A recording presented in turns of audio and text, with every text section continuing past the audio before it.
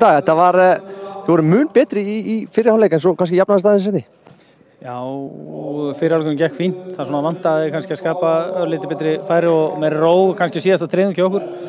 En uh, við erum að spila mútið mjög rútinu í liði stjórnumanna sem eru mjög góðir, sterkir og voru þjætti varnalega og erfiðar að brjóta baka aftur.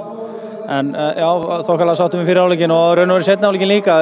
Þeir, þeir, skora þetta marg sem skiptir máli og, og, og það er setur. En sé, þið voru mun betri en þið náðu kannski ekki að skapa ykkur þessi færi í fyrirháleik sem þið kannski hefðu þurft að gera. Nei, það vant aðeins með róin sem ég sagði inn á síðasta þrjum til þess að geta skapað þau færi. Við vorum að koma okkur í álega stöður upp við teginn en það vant aðeins með ró og boltan til þess að fara að búa til færi sem við svo, svo, gerðum svo kannski hérna aðeins í setna áleik og, og, og hefðum svo sem geta sett eitt eða tvö mörg en, en uh, svona er þetta bara í þessu. Þeir eru með kannski vantaði marga hjá þeim því þú er kannski með þitt lið sem að kemur til að spila í, í, í sumar?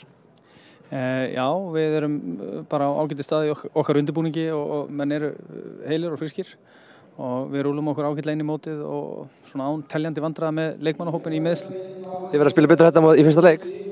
Já, við þurfum að halda áfram að bæta okkar leik og vinni okkar leik en, en við, það hafa orðið tölurverða breytingar hjá okkur og við höfum verið að vinni okkar málum og það hefur gengið ágætlega uh, og, og við, við höldum náttúrulega áfram, við höfum núna viku og þetta er fýtt undirbúningu fyrir leikina móti er mínútu þögnaða.